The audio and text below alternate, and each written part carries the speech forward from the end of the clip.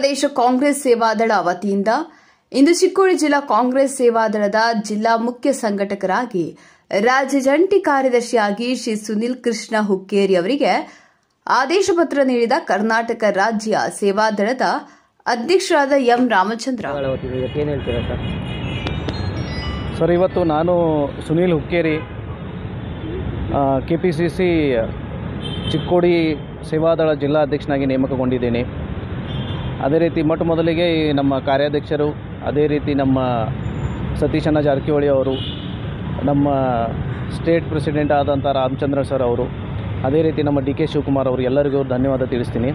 ಅದೇ ರೀತಿ ಇವತ್ತು ಮೊಟ್ಟ ಮೊದಲಾಗಿ ನಾವು ಸಂಘಟನೆಗಿಂತ ಚುನಾವಣೆ ಹೊಸ್ತಿಲರಲ್ಲಿ ಇರೋದರಿಂದ ನಾವು ಈಗ ಸಂಘಟನೆಗೆ ಮತ್ತಷ್ಟು ಒತ್ತು ಕೊಟ್ಟು ಇನ್ನಷ್ಟು ನಾವು ಸ್ವಲ್ಪ ಜಾಸ್ತಿ ಉಮೇದಿಂದ ಕೆಲಸ ಮಾಡ್ತೀವಿ ಅಂತ ಹೇಳಿ ಧನ್ಯವಾದ ತಿಳಿಸ್ತೀನಿ. ಚಿಕ್ಕೋಡಿ ಕಾಂಗ್ರೆಸ್ ಸೇವಾದಳ ಸಮಿತಿಯ ಜಿಲ್ಲಾಧ್ಯಕ್ಷರಾಗಿ ಸುನಿಲ್ ಉಕ್ಕೇರಿ ಅವರನ್ನು ನಮ್ಮ ಕರ್ನಾಟಕ ಕಾಂಗ್ರೆಸ್ ಸೇವಾದಳ ಸಮಿತಿಯು ಆಯ್ಕೆ ಮಾಡಿದ್ದು.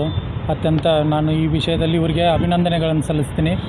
ಅದೇ ರೀತಿ ಮುಂದಿನ ದಿನಮಾನಗಳ, ದಿನಗಳಲ್ಲಿ ಬರುವಂಥ ಹುಕ್ಕೇರಿ ಮತಕ್ಷೇತ್ರ ಆಗಿತ್ತು ಅಥವಾ ಹುಕ್ಕೇರಿ ಚಿಕ್ಕೋಡಿ ಜಿಲ್ಲೆಯಲ್ಲಿ ಬರುವಂಥ ಎಲ್ಲ ಮತಕ್ಷೇತ್ರಗಳಿಗೆ ಇವರು ತಮ್ಮ ವಿಸಿಟ್ ಕೊಟ್ಟು ಅಲ್ಲಿ ಸೇವಾದಳವನ್ನು ಸಂಘಟನೆಯನ್ನು ಬೆಳೆಸಿ ಮುಂಬರುವ ಚುನಾವಣೆಯಲ್ಲಿ ಇವರಿಂದ ಒಂದು ಅಭೂತಪೂರ್ವ ಸೇವೆ ಆಗಲಿ ಅಂತ ನಾನು ಇವರಲ್ಲಿ ಹಾರೈಸ್ತೀನಿ.